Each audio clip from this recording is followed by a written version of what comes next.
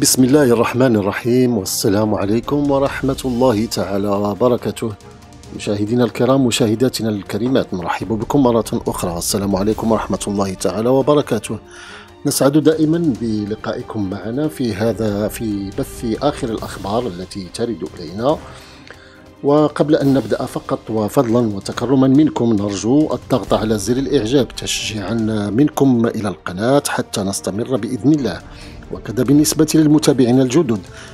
آه، ندعوكم للانضمام إلى العائلة العائلة عائلة زوم عبر الضغط على زر الاشتراك في المربع الأحمر أسفل الفيديو وكذلك تفعيل زر الجرس ليصلكم كل جديد.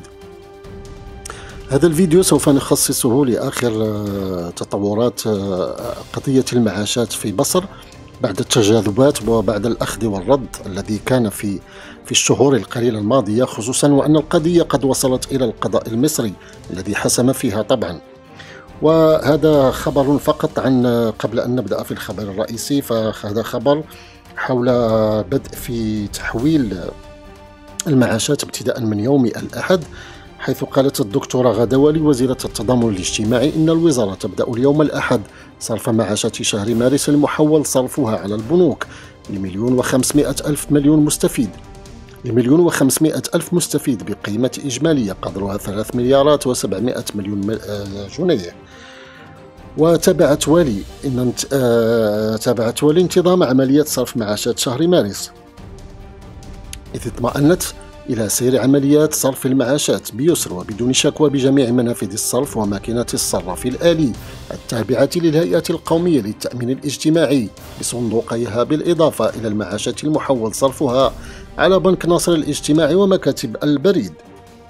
كما كما أعلنت اللجنة المشكلة من قيادة الصندوقين الحكومي والعام والخاص التي تتابع عمليات الصرف على مدار اليوم أن إجمالي عدد الحالات التي قامت بالصرف حتى أول أمس قد بلغت 5 ملايين و99 ألف آه، عملية صرف بقيمة إجمالية تقارب 7 مليارات جنيهات وبلغ عدد الذين صرفوا معاشاتهم من خلال الماكينات ال ATM الصراف الآلي مليون و ثمانمائة وثلاثة وعشرين ألف حالة بقيمة إجمالية تقدر بمليارين وستمائة وستين مليون جنيه.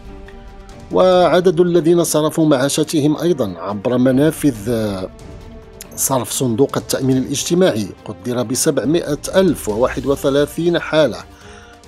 731 ألف حالة صرف بقيمة إجمالية مليار و147 مليون جنيه. بالإضافة أيضا إلى مليونين وخمسمائة وأربعين ألف حالة صرف. قاموا بصرف معاشاتهم من خلال مكاتب البريد بقيمة إجمالية تقدر بثلاث مليارات وسبعمائة وستة وخمسين مليون جنيه. وكانت والي قد أصدرت تعليماتها بمتابعة سير عمليات صرف المعاشات والعمل على حل أي شكوى من أصحاب المعاشات والقائمين بالصرف. كان هذا إذا خبرا عن عن الصرف وبداية عملية الصرف. لكن هناك خبرا أيضا اليوم ب تحت عنوان رئيس النقابة العامة لأصحاب المعاشات يضرب بقوة ويحسمها. هذا موقف من خرج معاش قبل 2005 وبعدها. في تفاصيل الخبر قال سعيد الصباغ رئيس النقابة العامة لأصحاب المعاشات. إن الحكم القضائي الخاص بالعلاوات الخمس لأصحاب المعاشات يكشف مدى التعنت الذي كانت تتبعه وزارة المالية لأنه في الفترة التي تم حجب هذه العلاوات عن أصحابها. منذ 2006 كانت الصناديق تتبع وزارة المالية في ذلك الوقت. وأضاف الصباغ خلال حواره ببرنامج لقمة عيش إن هذا الحجب جاء نتيجة حكم سابق للمحكمة الدستورية. رقم تحت رقم 33 لسنة 25 قضائية عام 2005 الذي أعاد الحق لمن خرج معاش باستقالة.